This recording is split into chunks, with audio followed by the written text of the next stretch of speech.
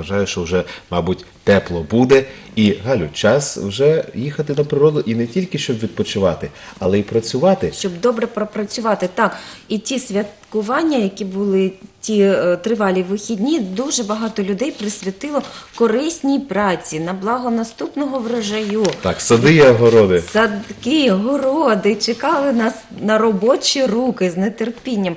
Які ж основні роботи зараз у нашому саду найактуальніші? Про це ми вирішили запитати нашу гостю. До нас завітала Надія Гуньковська, голова Миколаївського обласного об'єднання садівників. Доброго вам ранку. Вітаємо вас. Отже, розповідайте нам, що на нас чекає, який, який фронт робот нам накреслить. Великий фронт робіт, і наші глядачі добре знають, що під час нашої розмови можна телефонувати до нашої студії за номером 76 92 42, щоб поставити нашій гості свої запитання. Їх зазвичай дуже багато, бо у нас дуже великий.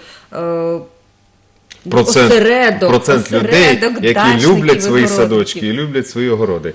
Так, дякую. Да. Э, Доброе утро, э, уважаемые садоводы. Доброе утро, дорогая студия. Я хочу сегодня э, рассказать о работе на виноградниках, так как сад, я думаю, мы уже защитили после цветения от вредителей и болезней. Сейчас поговорим о виноградниках. Почему именно о виноградниках? Пришла их пора? Да, пришла пора. Сейчас вот только начали распускаться молодые листочки на винограде, и уже появляется на нем заболевание. Это способствовали и наши погодные условия, в основном, конечно, э, дожди- дождливые погоды, и мало было солнечных дней, поэтому э, на виноградниках уже начали образовываться заболевания, ну и даже и уже э, мы замечаем и э, клещ зудень. Я вот попрошу оператора показать, я вот принесла листочки, садоводы Вы со приносят своим нам с гербарием, да. Э, вот, вот это у Щоб нас. клещ. А вы покажите Это на камеру, клещ. да. На листике пусть вот так и лежит. Да, а это клещ зудень повреждает вот так молодые листочки. На нем образовываются такие пупырышки на молодых листочках. И нужно обязательно их обрабатывать, иначе потом пойдет уже по всему винограднику пойдут такие э, э, вредители. И что будет с виноградником? Значит, ну, э, подумаешь, это- листочки в пупырышках, Нет, на плоды же это, это оно, конечно, клещ зудень, он в- высасывает лист- с листовой пластины сок, и, конечно же, потом э, плохой фотосинтез мы знаем в листьях, и, конечно же, влияет это и Плохо на урожай, плохо да? Развиваются листья, а потом, конечно же, это э, способствует уже и худшему развитию и виноградных гроздьев, и, конечно же, влияет на э, урожайность Как нашего его как его если- победить и минутку, уничтожить? Если э, будет листочки в пупырышках, то вот Да, такого вот урожая да, не конечно, ждать. Чёрных вот конечно. таких, видите? да. Значит, э, сейчас, в данный момент нужно обязательно, э, если теплые погодные условия, можно обработать сера. Сера, если свыше 20 градусов температура э, воздуха, значит, можно уже обрабатывать сера с добавлением хлорокиси меди. Это хороший комплекс для обработки против зудня. Обрабатывать нужно э, с нижней части листа. Он находится с нижней части листа, и поэтому, если вы хорошо обработаете виноградники с нижней части листа, у вас этих проблем не будет. Еще один препарат, который можно применять сейчас, если э, прохладно на улице, сера еще не работает, потому что сера работает свыше 20 градусов, я еще раз повторяю, Э, можно обработать омайтом или неороном, тоже очень хорошо влияет э, на этого клеща. Окуривать И, как-то надо, э, да, получается? Нет, не окуривать, надо просто э, обрабатывать. Значит, взять 70... Опрыскивать. Опрыскивать. Опрыскивать. Взять 70, В смысле, серой? 80... Ну. Ну, а серой, что, э, вот серой, например. серы- Опрыскивают, э, дачники не взять коллоидную серу, которая раз- разводится в воде, 70-80 грамм коллоидной серы и 30 грамм хлорокиси меди, или если есть, может быть, купрозан или цинеп, этих 40 грамм, и сделать такую смесь э, для обработки против э, клеща, и это же пойдет вам и обработка уже от мельдью. Мильдью сейчас тоже поражаются уже виноградные листочки. Я не знаю, как будет видно э, на экране Такие, вот мы листик сейчас смотрим на экран и видим прекрасные Листик, зреющие э, плоды. Да. Но если вы не обработаете, то этих плодов вы можете Да. И не увидеть, да. На Да, виноградном листике заболевание, да. образовываются, заметьте, такие жирные, как будто пятнышки, осветленные. Вот Поэтому покажите, листик, нам, пожалуйста, пожалуйста. да. вот так я могу показать. Действительно, как жирные Как пятнышки. жирное пятнышко. Вот такие вот, Вот листик, вот, вот да. такие пятнышки, да? Да, да, да. Вот это, вот это уже начинает повреждать листик мельдию. С мельдью бороться, конечно, тоже очень сложно, особенно когда погодные условия такие, как у нас вот были до праздников, Дождевые. и дождевые. Сырость такая, это, да? да, мельдию это грибковое заболевание, поэтому оно очень хорошо развивается в э, то время э, погодные условия, когда ему способствует, а это влажность и, конечно, мало солнечных лучей. Но тоже, если вы будете обрабатывать, э, у вас такие проблем не будет. Сейчас очень хорошо, конечно, обрабатывать хорусом. Хорус идет от всех грибковых заболеваний и очень... И от эм, клеща? э, нет, Нет, он, только от он других. это только Клещ от болезней. От клеща я уже назвала. Можно сера, можно нейрон, можно амайт. А от э, мильдию хорошо хорус и очень хорошо ридомил голд берет мильдию и э, тиавит. Эти препараты, они идут против грибковых заболеваний на виноградниках.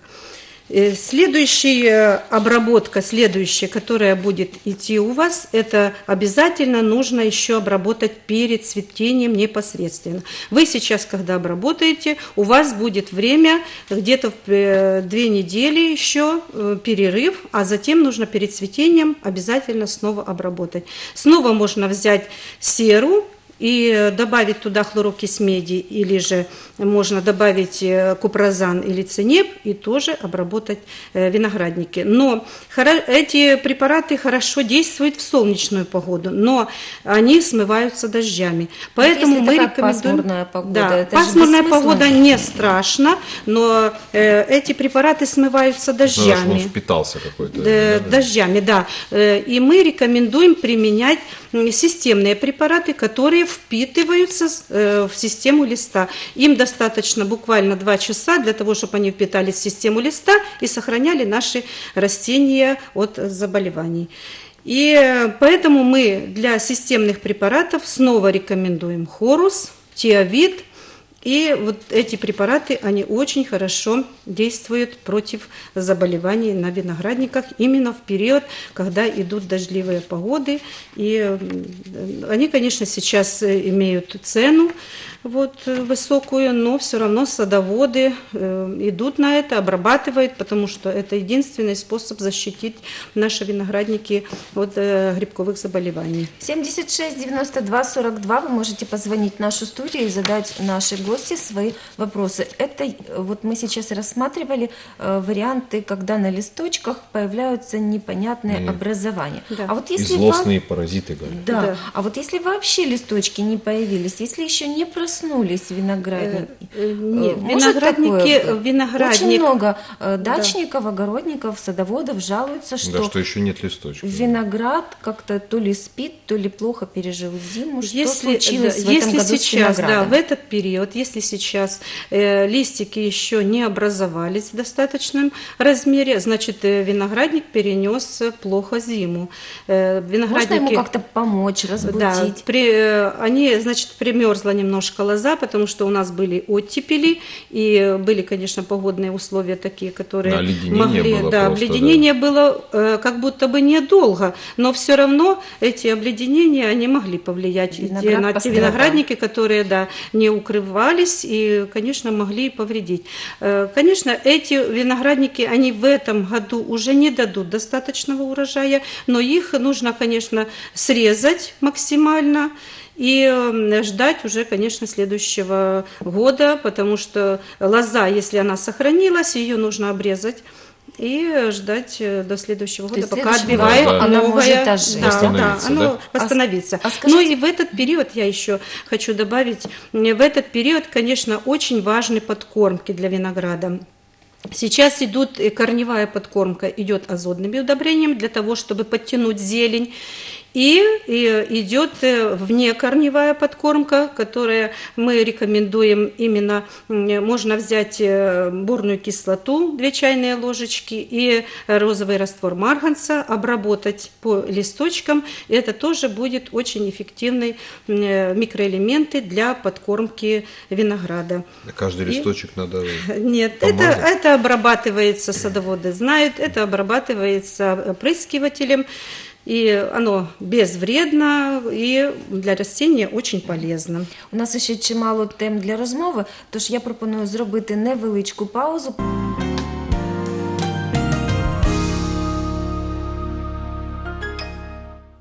Ми повертаємось до справ городніх. Так, нам тут отакі цікаві он, зелені такі штуки принесли. Що за зелені насаждення, як Зеленые говорится. насаждения. Да, Что это такое? Да. Расскажите нам немножечко. Это абрикос, Поврежденный манилиозом. Тобто ми поговорили про Посмотрите. виноград, а тепер Да, переходимо тепер до до- інших Да, рослин. немножко, немножко коснемся сада, потому что очень большая проблема у садовода. Вот они принесли, видите, какой нам такой экспонат. Это э, абрикос, поврежденный манилиозом.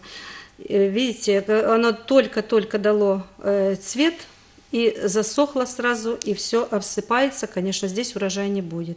Це И таке за с- Сейчас хвороба? это, это грибковое, нет, это грибковое заболевание.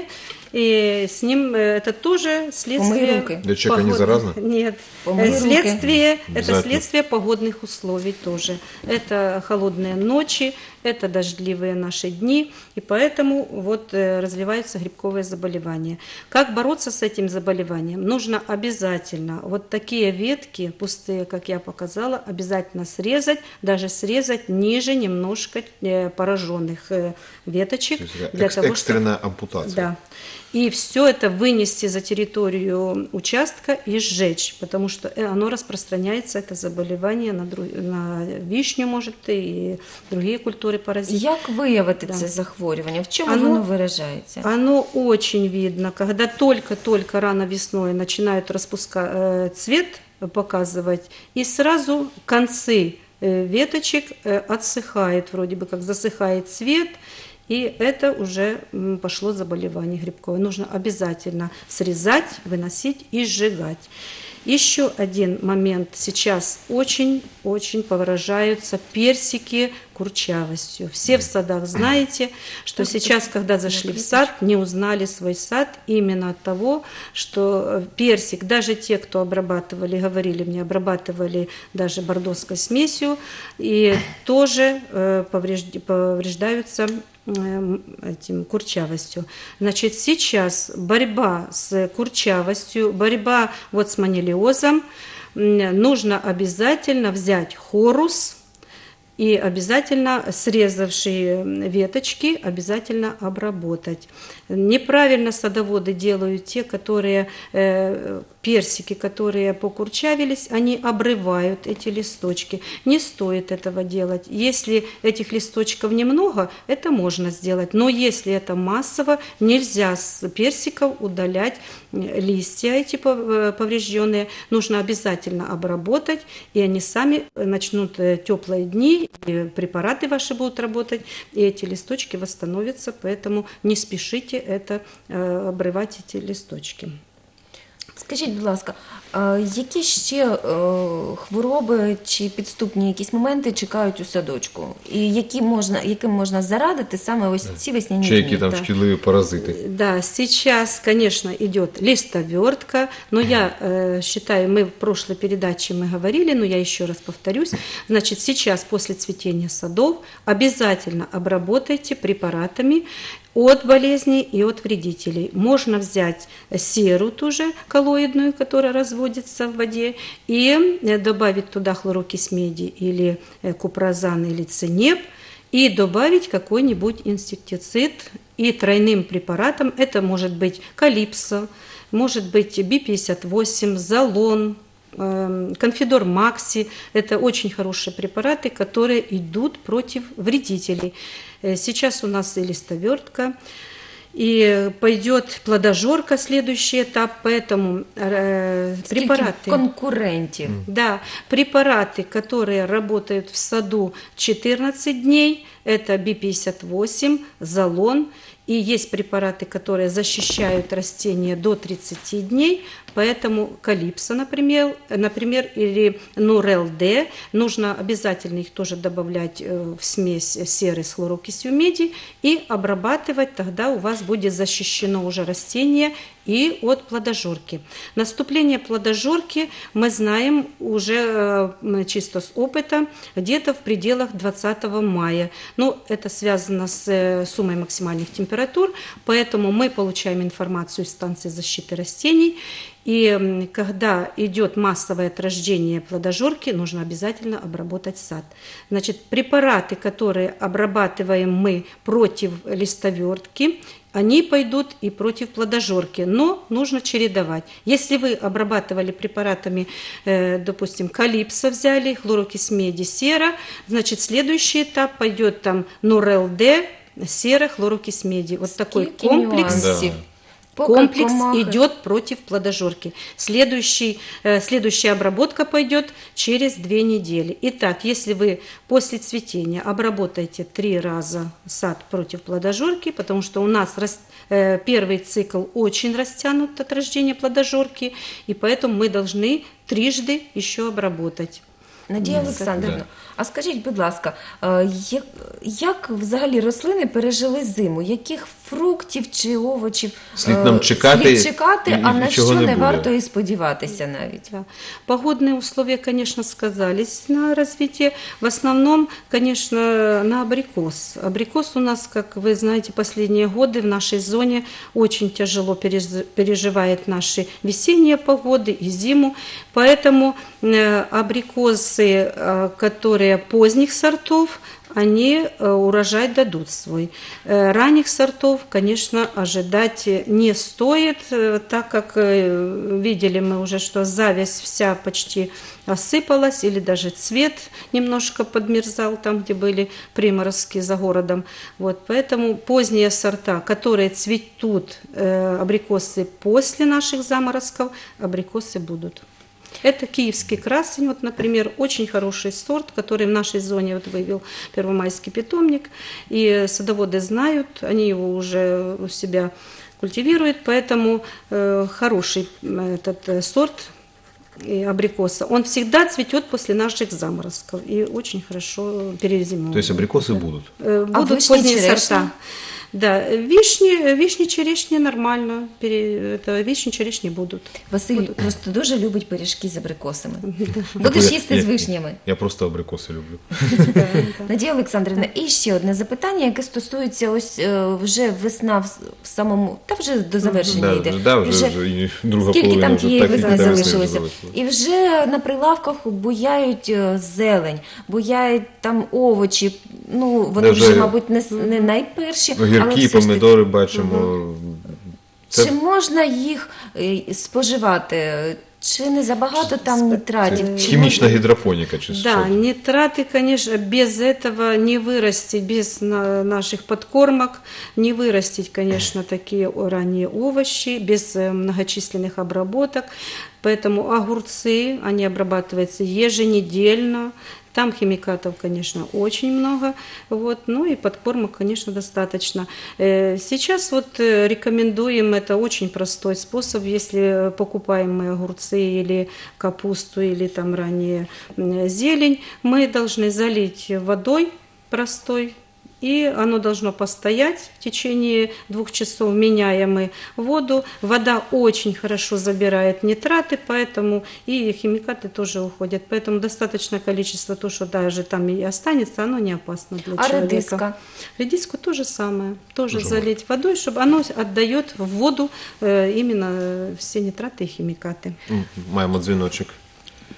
Алло? Алло? Э, Ну, в связи, в связи с тем, что перебивают вас постоянно как специалиста ведущая, скажите, как с вами связаться, чтобы можно было позвонить там и выяснить вопросы? Будьте добры, спасибо вам. Э, Телефон садоводства, областного садоводства, вы знаете, наверное, где мы находимся, Наваринская, 18, и телефон 47 95 54. Боже, какой кошмар. Можно Мы связаться перебиваем. с нами в любое э, время. Мы работаем с 8 до 4, Пожалуйста, звоните, мы вам по- очень подробно все расскажем, всю информацию. Дякуємо, Надія Олександрівна. Ми знаємо, що наш гріх, ми вас завжди перебиваємо, але ми виправляємося і кожного разу вас запрошуємо до ефіру, щоб ви нашим трударям, нашим садівникам, городникам, працьовитим нашим людям завжди давали свої корисні поради. Дякуємо, що завітали до нас. Якщо хочете Спасибо. щось побажати нашим телеглядачам, то Да, сейчас, ласка. конечно, весной э, садоводам, ну что можно пожелать? Здоровья вам, терпения и, конечно же, хороших, богатых урожаев. И трудитесь, пожалуйста, на своих участках.